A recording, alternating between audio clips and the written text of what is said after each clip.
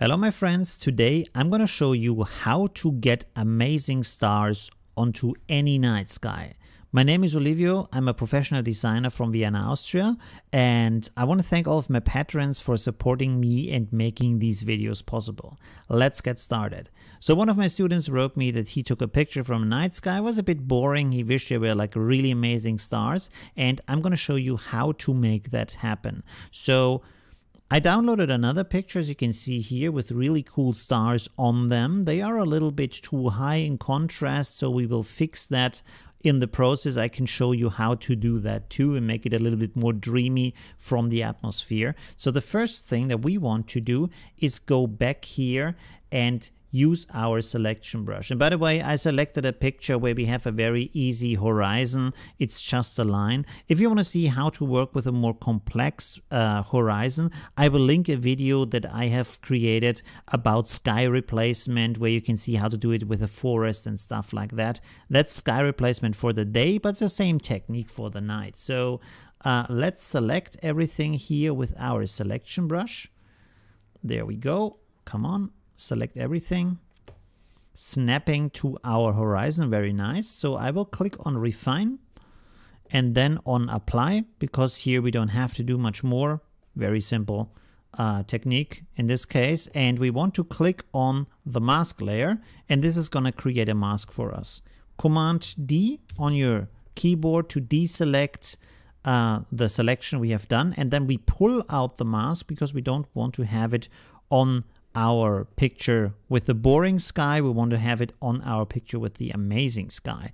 And one trick I want to show you here is don't pull it directly onto the other picture because then when you resize this, the mask is also resizing. Instead, what you want to do is select the layer and press Control G on your keyboard and this will create a group and then you pull in the mask above the layer that you want to use. There we go. And you can see it's there. We have a little bit of mountains from the other picture, but now I can simply zoom out a little bit and grab my other layer here, not the group, but the picture layer, and just resize it, and there we go. The mountains are gone. Oh, maybe we don't have to resize it that much. There we go. The mountains are gone. The sky is in the perfect place. We are ready to go. Now we do some adjustments because you can see that the mountains in the foreground don't fit the ambient light of the picture. So that's really important um, to take into account. So what we're going to do for that is um, two things. The first thing is I will set this to a blend mode so it blends with our original picture. In this case, I will set it to hard light. And then I will duplicate this layer. And I will rasterize it because this layer is in, um, how to say, it's image mode, but we need it in pixel mode. So let's rasterize that real quick. And then I'm going to set this to filter, blur, and average. And this will uh, make an average of all the colors in the picture. You can see here when I go to normal, Everything now is just one color and this is the mix of all the colors in the sky picture. So now we can blend this with our um, picture. So let's go here and see, we're gonna go with soft light and I will pull this down below our sky layer because the sky layer of course already has the color and you can see now that the mountains have the ambient light from all of the sky so this is more fitting. Another thing I want to do here because the sky is lighter in the middle and darker to the sides is I want to create a layer a pixel layer. Uh, so click here at pixel layer and then use a brush. We want to set it pretty big. You can see here pretty big, uh, pretty big diameter, uh, hardness to zero, opacity 30%, and we want to set the color to black.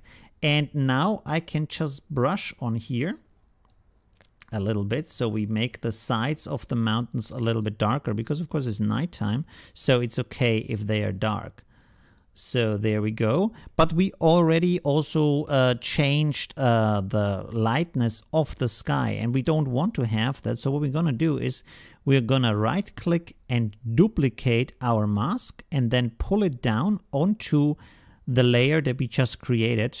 I will call this shadow. Shadow, it's not really a shadow, but it's like darkness.